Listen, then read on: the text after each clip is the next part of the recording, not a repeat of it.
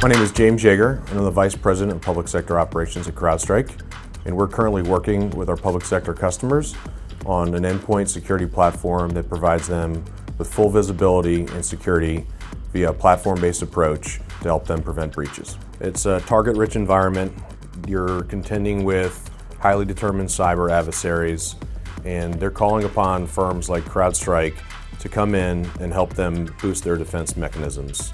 In the public sector, you've got a very unique mission, and you've got some low-hanging fruit out there because you're dealing with infrastructures that are very geographically dispersed, highly decentralized, and the bad actors are going after the weakness in the environment.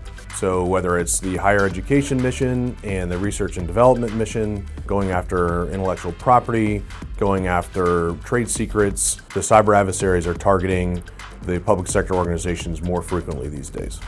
The capabilities that we're providing for our public sector organizations are prevent, detection, response, and managed hunting. On the prevention side, we've elevated the capability set to contend with a new level of attack that legacy antivirus tools can no longer defend themselves against.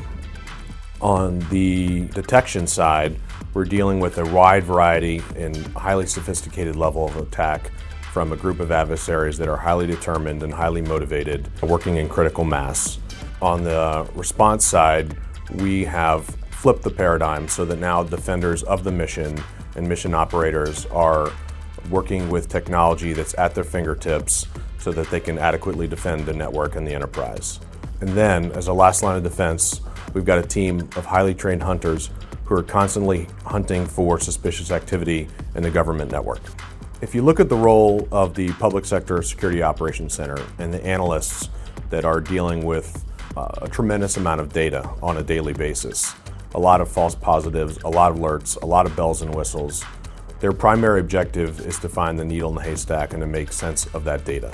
It's a significant challenge for them.